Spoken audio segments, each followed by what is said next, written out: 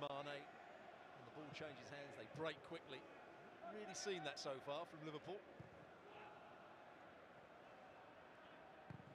Just seven times FA Cup winners Aston Villa. This ground, a huge history, was for decades a semi-final venue. And here's Barry. He's away here. A great moment for him, and he makes the most of it.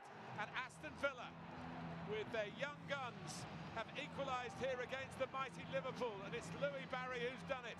That's what the fuss is all about.